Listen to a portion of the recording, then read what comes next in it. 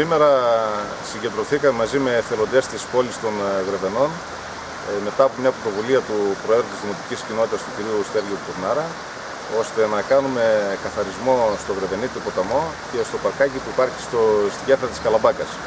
Ήταν μια πολύ καλή δράση με συμμετοχή αρκετά ικανοποιητική συμπολιτών μας η οποία ε, θα ξεκινήσει τις δράσεις αθλητισμού για το 2016 που θα κορυφωθούν το επόμενο διάστημα στις 17 Απριλίου με την πανελλαδική δράση που συμμετέχει ο Δήμος Γρεβενών, το Let's Do It Greece. Ε, ευχαριστούμε από καρδιάς όλους τους εθελοντές που πράγματι με πολύ ζήλο καθαρίσανε το Γρεβενίτη ποταμό, ε, θα τον παραδώσουν στην κοινωνία πιο όμορφο ακόμη και θα παρακαλούσουμε όλους τους πολίτες να τον προσέχουν και να τον κάνουμε ε, σημαία για την πόλη μας.